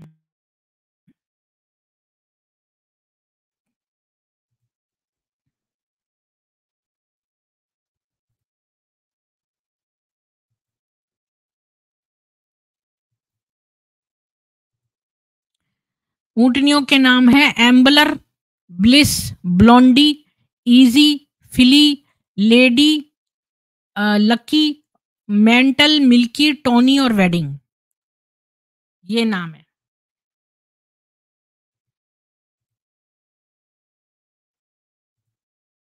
अब ब्लिस, एम्बलर का मतलब तो मुझे नहीं पता, एम्बर मतलब तो वो होता है जो चिंगारी।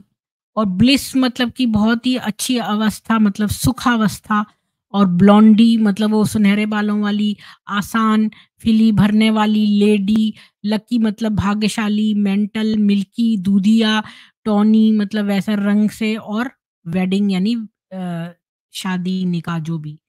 ये थे उसकी ऊंटनियों के नाम। अब कुछ के, कुछ तो उसको गिफ्ट में मिली थी और कुछ जो है वो चुराई हुई थी। एक, जो नौकर है, वो उनको जो है, शहर के पास ही कुछ पैस्चर से वहाँ ले जाता था और मस्जिद में वापस ले आता था जब सूरज ढलने के बाद। वेडिंग वाली जो निक, शादी वाली थी, जो निकाह वाली थी, नाम की ऊंटनी थी, उसको हिंद को दे दिया था, जिसको कि बहुत मेहनत से उसके अंदर से दूध निकालना पड़ता था। आपको पता है ऊंटनी का दूध बहुत मीठा होता है। मैंने सुना है कि उसका दूध निकालते उसमें मक्खियाँ पड़ जाती हैं। टोनी जो थी वो आयशा के पास थी, ऊंटनी, और उसको बहुत कुछ अबंडेंट देती थी। मेंटल जो है वो एक पर्सनल प्रेजेंट था मोहम्मद को, और वो बहुत मिल्क देती थी। इतना मिल्क देती थी जितना वेडिंग देती थी और टोनी को मिला के। मेंटल का मिल्क जो है वो पहले जो उतने भी अतिथि आते थे उनको दिया जाता था और बाकी बचा हुआ जो फैमिली है वो खुद ले लेती थी। अगर वो हर जो दुहने वाला जो मतलब ऊँट का वो है वो देर से आता था और अगर अतिथि बहुत ज़्यादा हो तो मोहम्मद जो है वो गालियाँ देता था कि भाई अल्लाह जो है वो आ, उसको प्यासा रखे जो मेरी फैमिली को प्यासा रखेगा। हिंद ने कभी भी इंडिकेट नहीं किया कि जो राशन का मिल्क है वो जो है वो कंपनसेट करा जाए क्योंकि हिंद के सबसे ज़्यादा बच्चे थे। तो इस तरह से डिस्ट्रीब्यूट नहीं किया उसने कि भाई जिसके ज़्यादा बच्चे हों उसको ज़्यादा मिले।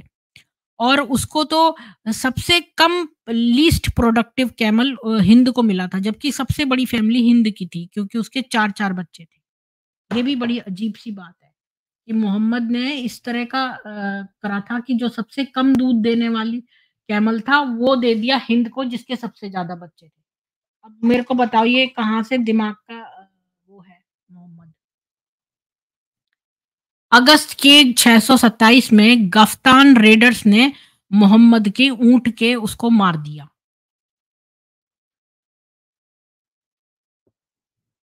और उसके ऊँट को भगा के ले गए। अरे भैया! ये तो बहुत बड़ी कलेमिटी हो गई। एक मुसलमान सैनिक जो है, जो भी इनका लुटेरा है, वो इसके पीछे-पीछे गया चोरों के और और उनको गोली मार दी। और और गोली मारी या धनुष मारा या पता नहीं, ये नहीं लिखा, शॉट एट देम। तो जब मोहम्मद आया, तो वो अपने सारे कैमल्स उसने रिट्रीव कर लिए और जो रेडर्स थे उन वो मारे गए और जो वॉरियर था उसने एडवाइस किया मोहम्मद को कि एक आर्मी को भी भेजो उनके पीछे। और उसने कहा कि भाई सारी तो इनको ऊँट मिल गए थे, फिर भी ये इतना नबी जो है वो था, मर्सीफुल था कि उसने सोचा कि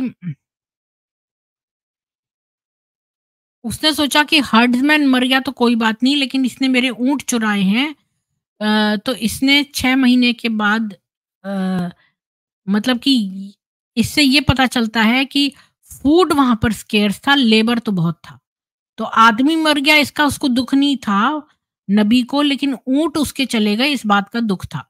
तो छह महीने के बाद जो है वो ऊँट दोबारा चुरे चुरे गए, इस बार जो है वो 8 अ, बेदुइन लोग आए और उन्होंने इस्लाम के बारे में बातचीत की कि वो भाई मदीना में रहने आए हैं और तो इसके बाद उन्होंने ऊँट का दूध पिया मोहम्मद के खर्चे पर। पर ये बात झूठ है, एक्चुअली में मोहम्मद ने उनकी तबीयत खराब हो गई तो मोहम्मद ने कहा कि पेशाब पी लो ऊँट की, तो वो उन्होंने पेशाब पी थी। पर बाद में वो उसका ऊँट लेके भाग गए तो मोहम्मद ने उनके हाथ-पैर कटवा दिए, उनकी जीभों में और आँखों में घुसवा दिए सरियाएँ और मोहम्मद ने अपने वॉरियर्स को उनके पीछे भेजा और मर्डरर्स को और कै कैमल्स सबको ले आए और बेदुइन के हाथ-पैर काट के उनके अ, गरम-गरम जो है लोहे से उनकी आँखें ब्रेंड कर दी और फिर इसके बाद हाथ-पैर काट के उनको एक पत्थर के उसके ऊपर छोड़ दिया। उनको प्यास से प्यास भी लगी थी तो उनको पानी भी नहीं दिया और उनको वो पानी मांगते रहे और वो सूरज के एक्सपोज़र से हिल भी नहीं सकते थे क्योंकि उनके हाथ-पैर कटे हुए थे और आँखें भी उनकी इन्होंने गरम-गरम लोहे की कीलें उनकी आँखों में डाल दी थी। तो अनस ने कहा कि वो अ, कि ये पनिशमेंट जो थी वो ऐसी नहीं थी कि ये इसलिए नहीं थी बल्कि ये जो वो थे ये मूर्ति पूजक थे और इस वजह से इनको अ, मिली है। ये मूर्ति पूजक थे और बाद में ये इस्लाम में आए और अब ये अपोस्टेट हो गए इसलिए इनके साथ ये करा गया है। अब आते हैं नर्चर पर कि मोहम्मद जो है हमेशा बड़ा अफेक्शन दिखाता था अपने ग्रैंड बच्चों के तो के लिए तो हिंद हमेशा देखती थी कि वो उनको बड़ा हक कर रहा है और उनके साथ टाउन में जा रहा है। हसन और हुसैन जो थे वो फातिमा के बच्चे थे। वो अ, उनको अलाउड था कि वो जो मस्जिद के ऊपर जो पल्पिट है उसके ऊपर जाके वो वहाँ से प्रीच करते थे। जब जब वो प्रीच कर रहा होता था तो उस पर चढ़ जाते थे और अम वो अ, अपने प्रेयर रिचुअल में उनको भी ऊपर उठाना और नीचे रखना और उमामा जो डॉटर थी ज़ैनब की उसको इन लोगों को करता रहता था मोहम्मद। जब फादरली अफेक्शन की बात करें तो वो हिंद के बच्चों को ज़्यादा वो करता था, चेरिश करता था। हिंद एक बार अपने घर में बैठी हुई थी, मोहम्मद और उसकी बेटी ज़ैनब थी जब फातिमा आई अपने 2 बेटों के साथ। तो मोहम्मद ने अपने जो ग्रैंड बच्चे उनको गले लगाया और कहा कि अल्लाह की जो है मर्सी तुम लोगों पर रहे। हिंद जो है इतनी ज़्यादा अपसेट हो गई इस डिस्प्ले से कि वो बैठ के रोने लगी। तो जब मोहम्मद ने बोला कि क्या गड़बड़ है? तो उसने कहा कि आपने कहा कि भाई इसके बच्चों के लिए तो ब्लेसिंग दी और मेरी बेटी जो थी उसके लिए और मेरे लिए कुछ नहीं कहा। तो मोहम्मद ने फ़ौरन उसको रीअश्योर किया कि तुम और तुम्हारी बेटी तो मेंबर हैं मेरी ही फैमिली के। लेकिन एक्चुअली में ये बच्चे तो उसके पहले हस्बैंड के साथ थे ना इसलिए वो रो रही थी। अ, पर उसको प्रॉम्प्ट करना पड़ा ये कहने के लिए। तो उसने जब पहली बार दुआ पढ़ी तो उसमें अपनी स्टेप बेटी के लिए नहीं कहा। जो उसकी बेटी के बेटे आए, जब उसके नाती आए हसन और हुसैन तो उसके लिए उसने दुआ निकाली। और अपनी जो हिंद के जो पहले हस्बैंड के साथ बच्चे थे वो भी वहीं पर थी, उसके लिए नहीं कुछ कहा इसने। 2 हिंद की बच्चे थे ज़ैनब और उमर, वो तो इस्लामिक ट्रेडिशन के ट्रांसमिटर बन गए मतलब हर चीज़ को उनसे आगे बताने वाले। और वो स्टोरीज़ भी बताते थे और लिस्ट ऑफ़ रूल्स कायदे कानून भी बताते थे। और लेकिन उन्होंने बहुत सारी मेमोरीज़ जो कि prophet as a father figure के बारे में कभी कुछ नहीं कहा। और उन्होंने कभी भी जैवलिन डिस्प्ले या या ऊँट के सवारी या कोई और गेम्स जो मोहम्मद प्ले करता था आयशा के साथ, वो कुछ भी नहीं उन्होंने कहा। इसका मतलब कि फैमिली बॉन्डिंग कभी भी नहीं हुई। उसके ये भी पता चलता है कि मोहम्मद को ज़्यादा इंटरेस्ट उसके डिस्टेंट कज़न उम सुलेम और उसके स्टेप बच्चों में ज़्यादा इंटरेस्ट था। उमर के पास डिटेल्ड मेमोरी है अपने स्टेप फादर की, कि प्रॉफ़िट ने उसको इस्लाम के टेबल मैनर्स बताए। तो वो कहता था, मेरा हाथ जो है, सब तरफ़ जो प्लेट रखी होती थी, उस पर जाता था, लेकिन नबी ने मुझसे कहा कि भाई तुम अल्लाह का नाम लो और अपने सीधे हाथ से खाओ और उसी प्लेट से खाओ जो तुम्हारे सबसे करीब है। और फिर मैं अभी वही सब इंस्ट्रक्शंस करता हूँ जब मैं खाता हूँ। टेबल मैनर्स तो टीच करना फ़ाइन है और और उमर को वो अच्छे मतलब तरीके से सिखाता था। हिंद का जो बड़ा बेटा था सलामा, वो एक मुस्लिम समाज के लिए एम्बेरसमेंट बन गया बड़ा होकर अब डिटेल्स तो जो है वो ऐसे छुपा दिए कि पता नहीं कि सलामा ने क्या किया या वो दुर्भाग्यशाली था। लेकिन बस इतना पता है कि वो एक एम्बेरसमेंट था। अ, उसने अपने स्टेप फादर के बारे में कुछ नहीं कहा, ना ही कोई एक भी सिंगल क जो है हदीस मिलेगी उसके नाम से। तो अल्लाह का जो लास्ट प्रॉफ़िट है, यानी कि मोहम्मद, उसने कोई भी इम्प्रेशन उसके ऊपर नहीं किया। और सलमा के पास तो खाली बैड थिंग्स ही थी मोहम्मद के लिए कहने के लिए।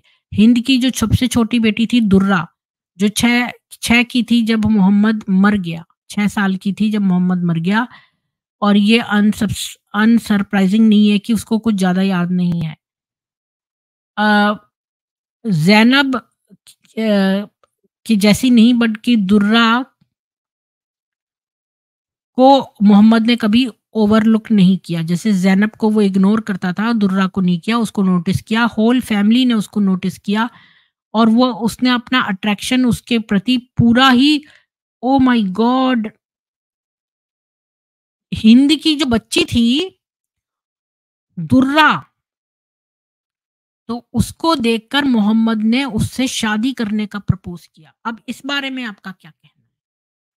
प्लीज़ मुझे नीचे कमेंट करके बताइए कि ये जो मोहम्मद था, इसने हिंद से शादी की थी और हिंद अपने साथ चार बच्चे लाई थी। तो जो ज़ैनब थी, बड़ी वाली बेटी और उसके बाद दो बेटे थे और दुर्रा सबसे छोटी बेटी थी। जब वो छह साल की थी तब मोहम्मद मर गया था। लेकिन मोहम्मद ने अपना इतना अट्रैक्शन उसकी तरफ़ वो किया था कि उसने उसको कहा कि तुम मेरे से शादी कर लो, जबकि उसकी माँ से शादी किए हुए था। इस दुर्रा के बाद में आ आपने सुना था पहले?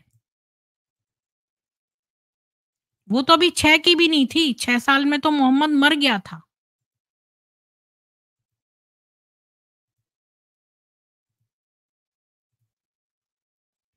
तो इसने दुर्रा से कहा शादी करने को। हाँ, बिल्कुल जितेंद्र जी। अब इसके बारे में तो मुझे पता ही नहीं था कि दुर्रा से भी इसने और जबकि उसकी माँ से मैरिड है। छी, छी, छी, छी। दुर्रा जो थी वो आयशा से छोटी थी। और वो उसमें मोहम्मद को बहुत इंटरेस्ट था। मोहम्मद का इंटेंशन नहीं था उसको टच करने का, इसलिए नहीं कि वो छोटी है, क्योंकि वो कोई बैरियर नहीं था और क्योंकि वो उसकी स्टेप डॉटर भी थी और उसकी फॉस्टर नीस भी थी। वो इस चीज़ को बहुत लेता था मोहम्मद ब्लड को, फ़ॉस्टर रिलेशनशिप्स को। लेकिन इसने दुर्रा के मामले में कहा कि चूँकि वो उससे रिलेटेड है तो इसलिए वो सही नहीं है। इसलिए नहीं कि वो छोटी है। तो फिर हिंद ने जो है उसको डर था इस बात का अ, लेकिन अ, हिंद ने जो है वो अ, देखा कि दुर्रा सेफ़ है इस इस वजह से। ज़ैनब जो थी वो 10 साल की थी। सॉरी ज़ैनब जो थी 10 साल बड़ी थी दुर्रा से। उसी को पता था कि जो मोहम्मद है जिस निगाह से उसकी छोटी बहन को देखता है। इसीलिए वो रिज़र्व रहती थी अपने स्टेप फादर से। हालाँकि वो उसके बारे में लॉयली बोलती थी कि वही वो सच्चा नबी है, पर उसने कभी भी ये नहीं कहा कि वो उसके क्लोज़ है। हिंद जो थी वो मोहम्मद से शादी 6 साल रही उसकी, लेकिन उसने उसके साथ कोई बच्चे पैदा नहीं किए। आयशा तो छोटी थी, सौदा जो थी वो थोड़ी बड़ी थी, मतलब वो 23 साल की थी, सौदा तो बड़ी थी उसकी सारी बीवियों में और ज़ैनब ज़ैनब बिन्त ख़्वैज़मा उससे वो नौ महीने तक ही मैरिड रहा।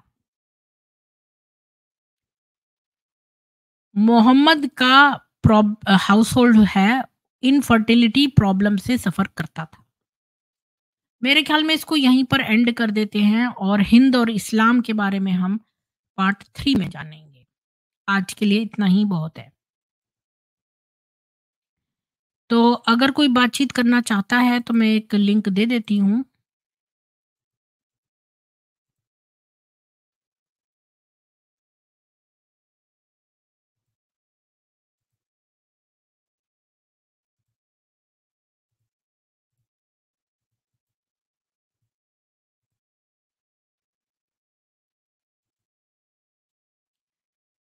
और मैं इसको लिंक को डाल देती हूँ।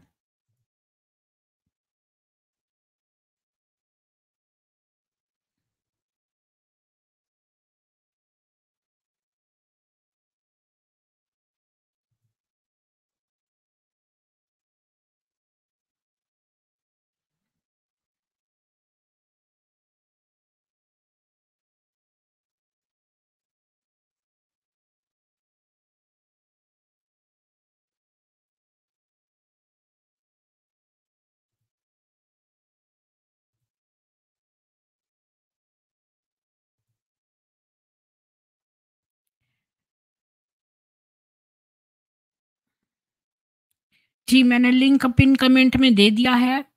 कल हमारी सनातन सभा है। आज कोई इसी बारे में जो आज मैंने कवर किया है हिंद और मोहम्मद का रिलेशनशिप इसके बारे में कोई बात करना चाहता है तो आ जाइए ऊपर बात करने के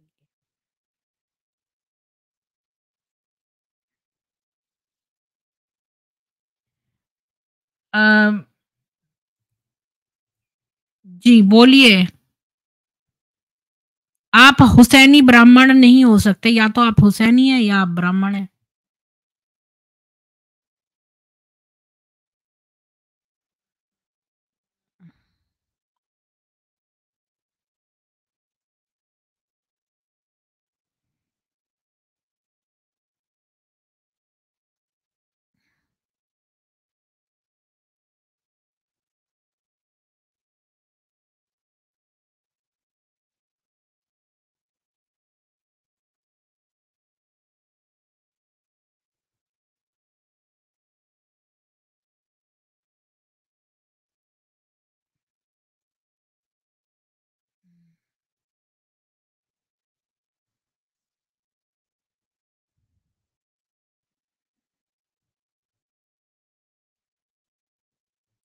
मैंने ऑलरेडी लिंक दे दिया है, कोई मोहम्मद और इसके बारे में बात करना चाहता है तो आ सकते हैं।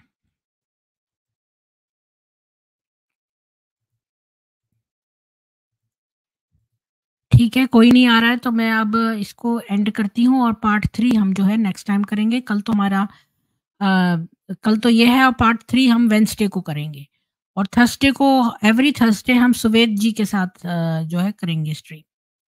तो आप सब लोगों को जय सनातन वैदिक राष्ट्र। कल फिर मिलते हैं सामवेद में। जय श्री राम